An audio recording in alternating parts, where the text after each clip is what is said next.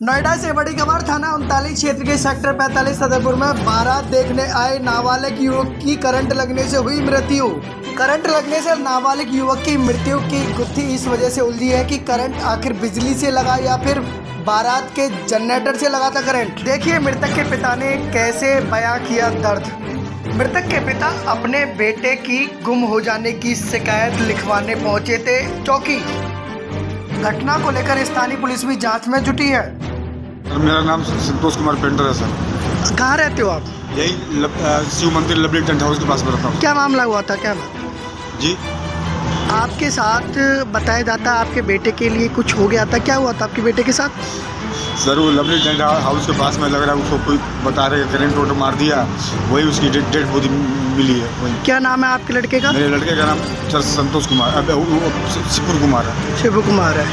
आप कहाँ रहते हैं? जी मैं वही शिव मंदिर के पास में रहता हूँ लवली टेंट हाउस के पास लवली टेंट हाउस के पास। क्या हुआ था? वहाँ पर कुछ तो बताया होगा लोगों ने आपको?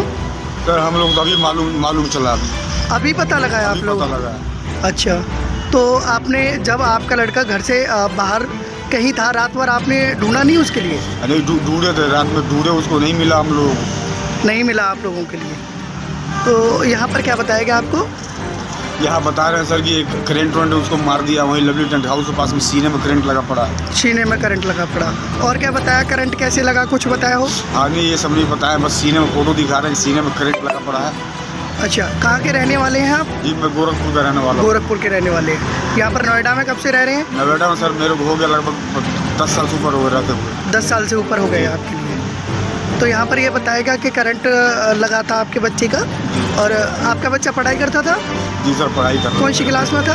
तो फोर्थ में पढ़ता था। अच्छा उम्र कितनी थी आपके लड़के की? लगभग वही तेरह साल के करीब में था। तेरह साल के लगभग थी। ठीक।